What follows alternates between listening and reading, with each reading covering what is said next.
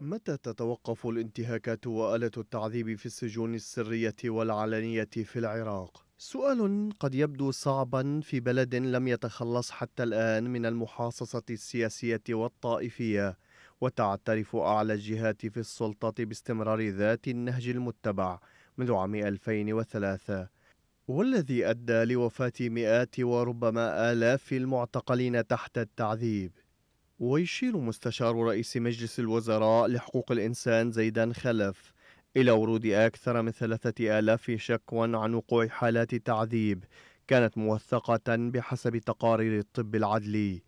ما اضطرهم لإرسال 1500 شكوى منها إلى محكمة تحقيق حقوق الإنسان من أجل إعادة النظر بها. ويضيف خلف إلى أن السلطات الحكومية قد تلجأ إلى العقوبات البديلة لإنهاء ظاهرة الاكتظاظ في السجون.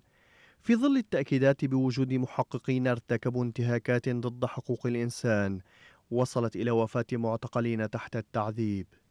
قسم حقوق الإنسان في هيئة علماء المسلمين من جانبه يرى أن الإجراءات الحكومية لا ترتقي لحجم الكارثة الجارية.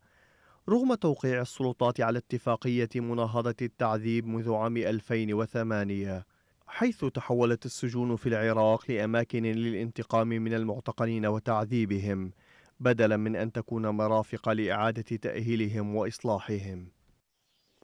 46 حالة وفاة وثقها المركز العراقي لتوثيق جرائم الحرب في السجون الحكومية في عام 2022 وحده. هي جزء قليل من حالات استطاع التثبت منها وسط محاولات التعتيم الحكومي على ما يجري من تعذيب وإهمال طبي يعد أيضا ضربا من ضروب التعذيب.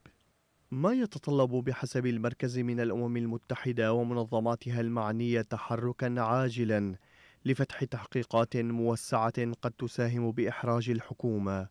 لإدخال لجان مختصة علها تنقذ المعتقلين في العراق من المحرقة التي وضعوا فيها.